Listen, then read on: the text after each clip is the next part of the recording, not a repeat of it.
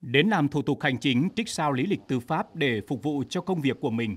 chị Phan Thị Diệu Huyền ở xã Gia Hanh, huyện Can Lộc đã được cán bộ phụ trách lĩnh vực tư pháp hỗ trợ hướng dẫn thực hiện các bước trên điện thoại thông minh thông qua ứng dụng VNeID. Qua hướng dẫn, chị đã nắm bắt và thực hiện các bước nộp hồ sơ lý lịch tư pháp một cách nhanh chóng. Chỉ sau ít ngày, kết quả sẽ được gửi trả về qua đường bưu điện, tạo sự tiện lợi nhất cho người dân. Làm trên app VNID thì cũng phải mất thời gian ra ngoài hành chính công nữa. Bình thường thì mình ra hành chính công thì phải 7 đến 8 ngày họ mới xử lý hồ sơ cho mình. Làm trên VNID thì tầm 5, 3 đến 5 ngày là, là mình đã xử lý xong hồ sơ rồi. Ừ, tôi cảm thấy rất là tiện lợi và dễ dàng hơn cho mình. Cũng giống như chị Phan Thị Diệu Huyền, nhiều người dân cảm thấy hài lòng với thủ tục cấp phiếu lý lịch tư pháp qua VNeID hiện nay. Nếu như trước đây, khi đến làm thủ tục hành chính cấp sao lý lịch tư pháp, thường phải mất nhiều thời gian chờ đợi, đi lại nhiều lần, thì giờ đây những bất tiện đó đã được khắc phục. Theo đó, toàn bộ quy trình gồm 7 bước, chỉ cần thực hiện trong khoảng 15 đến 20 phút, tiết kiệm rất nhiều thời gian, chi phí, công sức đi lại trong thực hiện thủ tục hành chính. Thực hiện thủ tục ờ, cấp phiếu lý lịch tư pháp trên ờ, app VNID rất là thuận lợi. Thứ nhất là về thời gian được tiết kiệm, À, cái thứ hai nữa là mình có thể từ khai được thông tin ngay trên điện thoại của mình và thông tin thì à, nó rõ ràng cho nên là mình cũng điền nó được tiện lợi hơn. Tại bộ phận thuộc lĩnh vực tư pháp, Trung tâm Phục vụ Hành chính công tỉnh, bình quân mỗi ngày tiếp nhận hàng trăm hồ sơ thủ tục liên quan đến cấp phiếu lý lịch tư pháp cho người dân. Từ khi triển khai việc cấp phiếu lý lịch tư pháp qua ứng dụng VNeID, với sự hướng dẫn cầm tay chỉ việc của đội ngũ cán bộ tư pháp người dân đã nhanh chóng tiếp cận thực hiện dịch vụ mới này. Khi à, người dân đến thì à, cũng là phải tiếp cận người dân xem là người dân đã có VNID định danh mức độ 2 chưa. Thì à, nếu mà đã có mức độ 2 rồi thì chúng tôi sẽ là hướng dẫn trực tiếp trên máy điện thoại của người dân giúp đỡ người dân trong việc kê khai các cái thông tin một cách dễ dàng.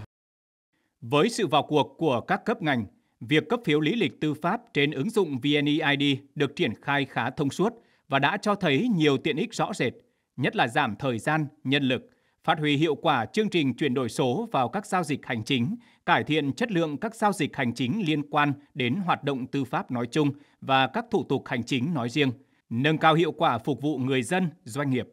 Nếu như trước đây, người dân có nhu cầu phiếu lý lịch tư pháp sẽ phải mất thời gian từ 10 đến 15 ngày – và phải chứng minh rất nhiều loại giấy tờ liên quan. Thì giờ đây, khi thực hiện qua ứng dụng VNeID, các dữ liệu đã được cập nhật đồng bộ, nên các bước thủ tục cũng đơn giản hơn và đặc biệt rút ngắn được thời gian xử lý hồ sơ. Khi đã hoàn thành các thủ tục đề nghị cấp phiếu lý lịch tư pháp, người dân có thể theo dõi được trạng thái xử lý của hồ sơ và nhận được kết quả giải quyết hồ sơ qua ứng dụng VNeID hoặc email đồng thời có thể sử dụng phiếu lý lịch tư pháp điện tử để thực hiện các thủ tục hành chính khác, tiết kiệm chi phí và thời gian đi lại cho người dân, đồng thời công khai minh bạch quá trình giải quyết thủ tục hành chính. Trước đây nếu như mà cấp phiếu ấy, thì lại phải mình phải xuất trình các cái giấy tờ tùy thân. Thì bây giờ chỉ cần vào VNID và khai 6 đến 17 trường thông tin thì đã thực hiện được đầy đủ các thông tin để cấp phiếu. Nên là cũng rút ngắn được thời gian. Một cái việc nữa mà có thể nói rằng là cũng tạo rất là nhiều thuận lợi cái cái người dân trong cái quá trình ờ, cấp phiếu. Đó là gì? Đó là cái bản điện tử thì có thể sử dụng rất rất là nhiều lần. Là cái cho xuất trình cái bản điện tử ra là được. Bước đầu ờ, người dân hưởng ứng vì thấy được cái lợi ích, nhất là về mặt thời gian, đạt được cái kết quả bước đầu như thế này. Đó là làm tốt công tác tuyên truyền. Người dân thấy thiết thực, là người dân thực hiện hai là trách nhiệm của cấp ủy chính quyền và các ngành chức năng phối hợp chặt chẽ việc cấp phiếu lý lịch tư pháp qua VNID sẽ được ờ, phổ biến diện rộng và tiến tới là 100%.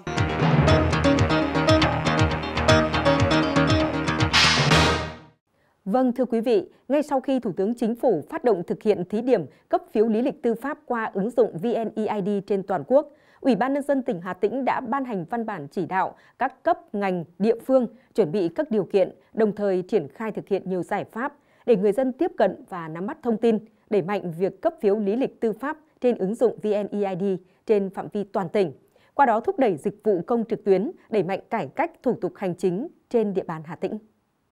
Tại huyện Thạch Hà, sau khi tiếp nhận kế hoạch triển khai từ Ủy ban Nhân dân tỉnh, Ủy ban Nhân dân huyện đã giao trách nhiệm cho phòng tư pháp chủ trì phối hợp với các phòng ban liên quan, tăng cường tuyên truyền, đặc biệt là hướng dẫn việc triển khai thực hiện. Theo đó, Ủy ban Nhân dân các xã, thị trấn tăng cường phổ biến về ứng dụng này trên các phương tiện truyền thanh xã. Cán bộ tư pháp, hộ tịch, tổ chuyển đổi số cộng đồng tại các thôn xóm cầm tay chỉ việc giúp người dân nắm bắt và thực hiện ứng dụng này khi có nhu cầu. Như tại bộ phận giao dịch một cửa xã Thạch Sơn. Sau một thời gian được cán bộ xã hướng dẫn cụ thể, đến nay nhiều người dân đã có thể tự thực hiện trên điện thoại thông minh. À, cái thủ tục cấp lý lịch tư pháp trên VNID rất là tiện lợi, đỡ tốn thời gian, à, đỡ phải đi lại nhiều, không cần phải vào tỉnh để làm nữa mà tôi có thể làm ngay trên app. Thực tế là chúng tôi chỉ cho dân tận tay luôn qua điện thoại của mình hoặc qua điện thoại của công dân ấy. Thì bây giờ thì số lượng công dân mà làm được cái ứng dụng này trên điện thoại rất là nhiều. Đặc biệt là cái lớp trẻ thì họ làm được trên điện thoại. Và cái này cũng tạo cái thuận lợi cho nhân dân là không phải như trước đấy thì phải vào tỉnh hay vào hành chính công một tỉnh để mà nó làm được nhưng mà bây giờ thì công dân chỉ cần ờ, dùng điện thoại ở nhà và làm trong khoảng vài phút là xong. Với sự tuyên truyền rộng rãi trên hệ thống loa phát thanh, lồng ghép các cuộc họp của các hội, đoàn thể, tổ chuyển đổi số cộng đồng cấp xã, thôn, Đến nay, tại 22 xã thị trấn trên toàn huyện Thạch Hà đã triển khai phổ biến việc cấp phiếu lý lịch tư pháp qua ứng dụng VNeID cho bà con nhân dân được biết, đặc biệt là về những tiện ích vượt trội của dịch vụ mới này. Bước đầu cho thấy nhiều người dân đã ủng hộ và thực hiện hiệu quả. Chỉ một thời gian ngắn là công tác tuyên truyền của Thạch Hà là đạt được hiệu quả rất là cao. Đó là bây giờ mà đi từ người dân, hỏi người dân để đã nghe cái gì qua cái ứng dụng VNID của cái việc cấp phiếu lý lịch tư pháp hay chưa. Khoảng 90% người dân là đã rõ cái nội dung này. Còn cái việc thực hiện thì tùy vào nhu cầu của từng thời điểm. Ví dụ như khi lúc này là người dân này cần, nhưng mà lúc khác thì người dân khác cần thì họ có thể trực tiếp thực hiện. Việc cấp phiếu lý lịch tư pháp trên VNeID là bước đi quan trọng trong tiến trình số hóa các dịch vụ công, cụ thể hóa các yêu cầu, nhiệm vụ trong thực hiện đề án phát triển ứng dụng dữ liệu về dân cư, định danh và xác thực điện tử phục vụ chuyển đổi số quốc gia – giai đoạn 2022-2025, tầm nhìn đến năm 2030, gọi tắt là đề án 06 của chính phủ. Việc cấp phiếu lý lịch tư pháp thông qua ứng dụng VNeID là phương thức mới, không tránh khỏi những khó khăn trong thời gian đầu triển khai, đặc biệt là nhân lực tiếp nhận và xử lý hồ sơ cấp phiếu lý lịch tư pháp còn mỏng, trong khi bình quân mỗi năm có 40.000 hồ sơ sẽ tạo không ít áp lực cho các cơ quan liên quan. Do đó, rất cần sự vào cuộc trách nhiệm cùng với sự sáng tạo linh hoạt của các bên liên quan trong quá trình triển khai. Chúng tôi đã tham mưu uh, cho tổ đề án 06 của tỉnh là tăng cường cái tuyên truyền cho người dân. À, hai nữa là tăng cường cái sự phối hợp giữa các cơ quan trong cái thực hiện cái quy trình về cấp phiếu lý lịch tư pháp ờ, từ cái việc hạ tầng cơ sở dữ liệu thông tin giữa các cơ quan với nhau như sở tư pháp rồi trung tâm phiếu uh, lý lịch tư pháp quốc gia rồi là công an tỉnh là cũng đã tăng cường các mối quan hệ phối hợp à, để rồi là giúp cho cái quá trình này thực hiện nó nhanh đảm bảo thông thoáng.